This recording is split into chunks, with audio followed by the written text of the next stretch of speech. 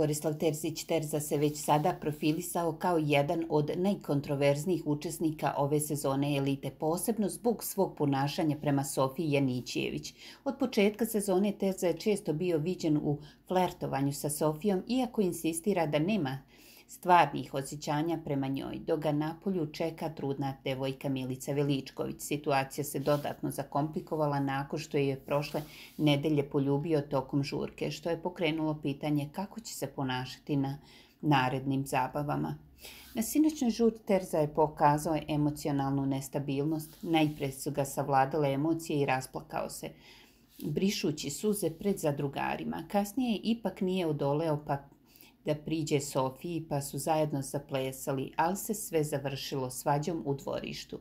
On joj zamerao na njenom ponašanju kao da joj je dečko. Kockaš se, blam, rekao je Terza. Sprdam se, rekla je Sofija.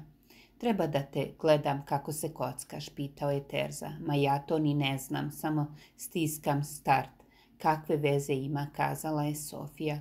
Bora je očigledno odlučio da održi moralnu lekciju Sofiji, iako njegovo ponašanje u posljednjim nedeljama je daleko od primerenog. Sofina majka se oglasila dva puta i osoba puta oba puta negirala da se nešto dešava između nje i Terze. Nisam ništa gledala, radila sam tako da ne mogu ništa da vam kažem, jer ne znam o čemu se radi, poručila je Sofina mama za Pink RS. To je potpuno različita priča u odnosu što je Sofina majka tvrdila nekoliko dana pre toga, kada je pričala da je njena čerka vernica. Neka se Milica ne plaši Sofije, nema šanse da ima sa njim bilo šta, nije njen tip. Ona je vernik, ona je vaspitana. Nama to nije po Bogu da rušimo nešto nekome, rekla je Sofina majka.